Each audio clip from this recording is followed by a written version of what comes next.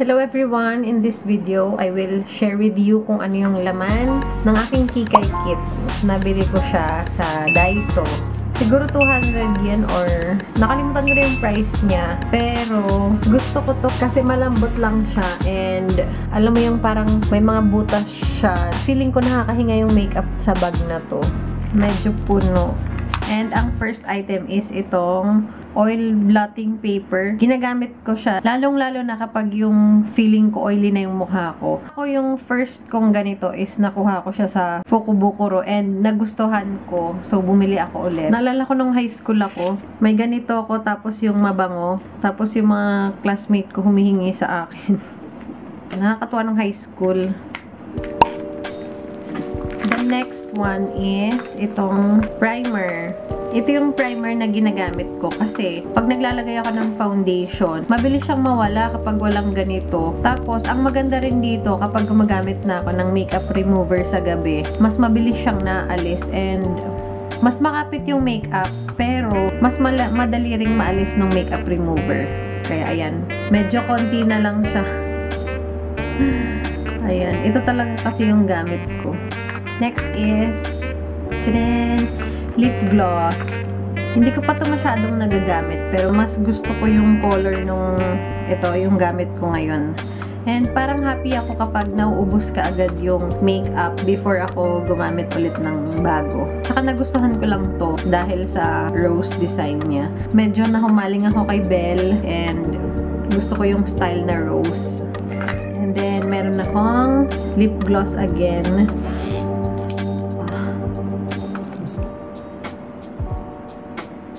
Parang silicone yung ano niya. Ito.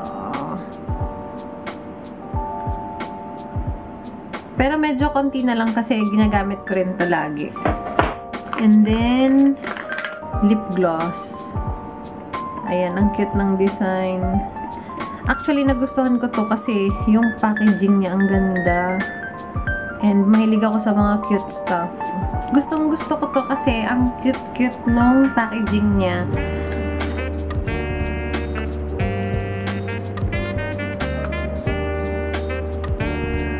Ayan. Lip gloss din to. Tapos yung style niya is parang candy. Yung wand naman niya is ganito. Ayan, another lip gloss na paubos na. Ito yung gamit ko today. Tapos, ito talaga yung pinaka-favorite ko. Kasi, pag in-apply ko siya, parang merong makintab na medyo purple yung itsura niya. And, maganda siya sa lips. Yan yung mascara ko medyo naalis na yung label niya kasi lagi ko siyang ginagamit. Napakaganda nito kasi kahit umiyak ako or for example, lumabas ako, kahit pagpawisan ako, hindi siya naalis kaagad. Ayan, next naman is itong para sa aking mata. Medyo sira-sira na tapos ito, konti na lang yung laman niya. Ito, para siya sa kilay ko. Na-erase na yung nakasulat two-way. Ito, yung liquid. Ito muna yung ilalagay.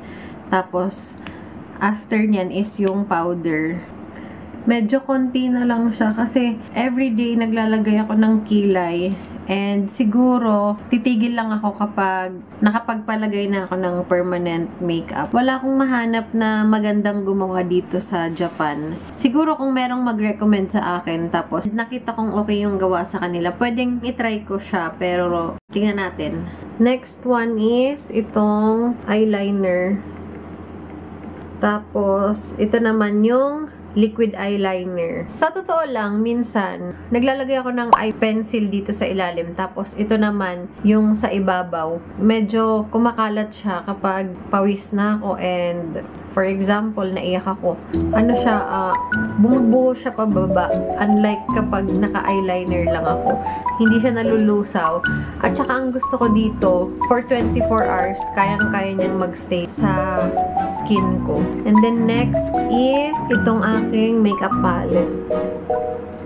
Medyo tumatagal sa akin kasi hindi siya hinahalongkat ng mga anak ko. Dati, pag meron akong makeup palette, uh, sinisira siya ng mga bata. Pero hindi ako nagagalit kasi mga bata yan, curious sila. Lalong-lalo na si Miyuki. Medyo gusto niyang naglalagay ng makeup. Kaya ang ginagawa ko, tinatago ko na lang kesa naman pagalitan ko yung mga bata eh out of curiosity, gusto nilang makita ko ano yung laman ng makeup pouch ng mami nila. Kaya ako na lang yung gumagawa ng way na itago siya ng maayos. And then, yung aking foundation. Ito yung ginagamit ko kasi hindi ko alam pero ang ganda niya sa skin ko. And then, pwede ko siyang magamit kapag summer. Pero ito, gamit ko naman to kapag malamig yung panahon. Kasi, ang lakas niya makapag-moisturize ng skin. Hindi ko pa kasi ito natatry eh, pero siguro itatry ko siya ngayong winter. Kung ano yung effect niya sa skin ko. And then, another lip gloss. Ang hilig ko sa lip gloss, Ayan. Medyo mahilig ako sa lip gloss kasi dito sa Japan, kapag medyo may konting kinang yung lipstick, yung lips mo, mas maganda siyang tingnan. At saka malamig kasi dito eh. Pag wala akong lip gloss, feeling ko nagda-dry yung lips ko and masakit siya. And then, my makeup brush. Ayan. Gusto ko to kasi pwede ko siyang mabit-bit kahit saan and madali rin siyang linisan compared kung yung mga makeup na open lang. Ginagamit ko to para sa blush on ko. Or kaya naman minsan gumagamit na lang ako ng finger. Ngayon wala akong foundation kasi baka kumalat siya sa damit ko. And nag-aalaga ako ngayon ng baby uh, baka magkaroon ng reaction yung skin niya pag nadikit yung pisngi ko sa pisngi niya. And then next is another lip gloss. Ito namang lip gloss na to is Disney Princess. Actually, kay Miyuki to. Kaso, binigay niya sa akin. Kasi, nakikisuyo siyang ilagay sa lalagyan ko. Tapos, ang ginawa niya, binigay niya na lang sa akin. Sabi niya, pang mami raw kasi yung color nito masyadong red. Ayan, so, meron palang ganun. Akala niya pag pink, pang babies na katulad ng edad niya. And pag medyo red, sa mga katulad kong mami na. And then next is lipstick. Ayan. Hmm. Hindi ko pa siya nagamit, pero pangalawa ko na to. Ako kasi gusto ko, before ko gamitin yung isang bagay, naubos ko muna yung isang product before buksan yung bago. And ito yung ginagamit ko. Ayan. Pag naubos na to, saka ko to gagamitin. Kasi, nangihinayang ako eh. At saka ang sarap kaya sa feeling na nakikita kong nauubos yung mga products na ginagamit ko. Gagawan ko ng video lahat ng empties ko for 2021 and ipapakita ko sa inyo kung gaano karami na yung nagamit ko. And then next is ayan sparkling gel. Meron akong sparkling gel. Actually, ano to, uh, gusto ko siya kasi pag nilagay ko siya sa face ko, medyo may pagka-shiny. Tapos, nilalagay ko to dito sa taas ng cheekbones ko. Pero bihira ko lang tong gamitin eh. Ayan. And then, eyeshadow eyeshadow siya, pero cream, maganda to.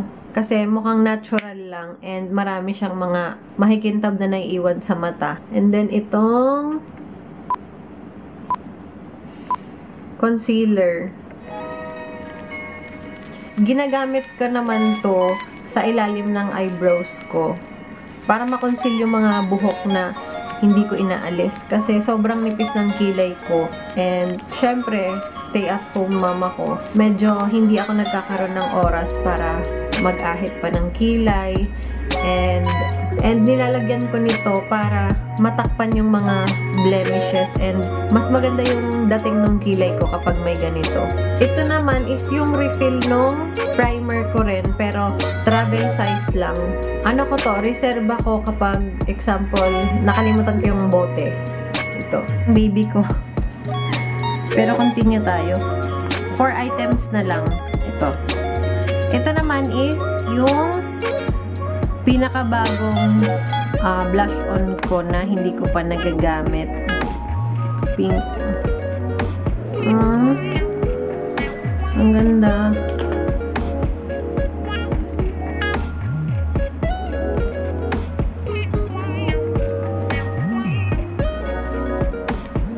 Tapos, meron din akong tiny little pouch. Lalagyan ko ng mga hairpin, tapos hair clip. Ayan. Para, for example, meron akong buhok na hindi sumusunod sa dapat na posisyon kung nasan siya. Nilalagyan ko na lang ng hair clip. Tapos, ayoko nang masyadong makalat sa loob ng pouch ko, kaya nilagay ko siya dito.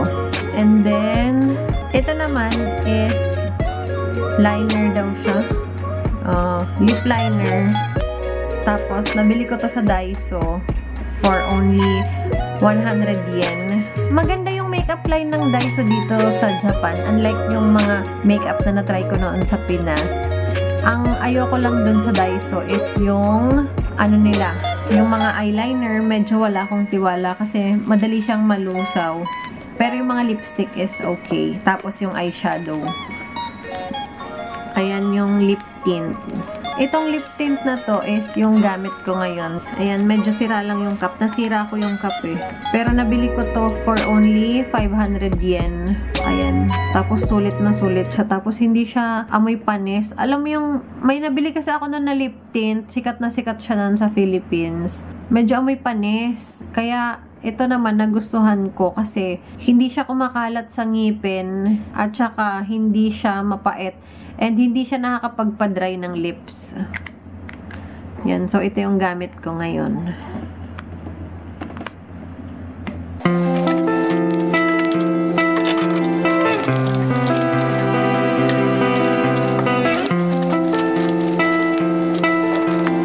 Ayan, so that's it for this video and na-share ko na sa inyo kung ano yung laman ng aking makeup pouch or kikay kit and kung magtataka kayo, wala akong mga pressed powder. Kasi hindi ako yung sa foundation na powder. Pero gumagamit ako nun. Kaso hindi ako masyadong nagdadala. Kasi kapag gumagamit ako nun medyo nai-irritate yung eyes ko.